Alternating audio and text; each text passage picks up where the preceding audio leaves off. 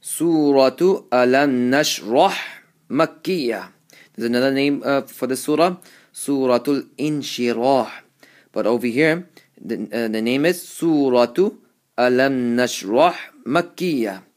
أعوذ بالله من الشيطان الرجيم بسم الله الرحمن الرحيم ألم نشرح لك صدرك So pronounce ha properly. Thoughtful mouth, dal qalqala, ra full mouth, and kaf, empty mouth. Alam nashrah laka sadarak, wa wada'na anka wizrak. So thoughtful mouth, pronounce the ayn properly. Wa wada'na, wa wada'na anka wizrak. Many people, they end up pronouncing this as a hamza. So make sure you pronounce the ayn properly. عنك وزرك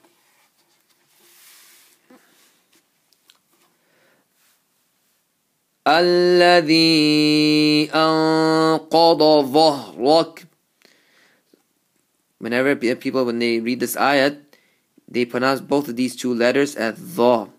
Remember, Lord is pronounced with the side of the tongue touching the, the side of your molars and making sure that the tip of the tongue does not touch the front teeth. So it has to touch the palate. Anqada. And va, va is pronounced with the tip of the tongue touching the edge of the two upper front teeth. الذي أنقض ظهرك So make sure you show the difference between a lord and a dha. ورفعنا لك ذكرك ورفعنا لك ذكرك فإن مع العسر يسرا The first ra is empty mouth, second ra is full mouth. Again, فإن مع العسر يسرا إن مع العسر يسرا فإذا فرغت فانصب Make sure you don't make قلقلة on the غين فرغت فانصب. Again.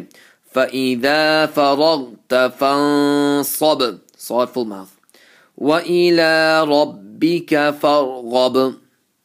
وإلى ربك فارغب.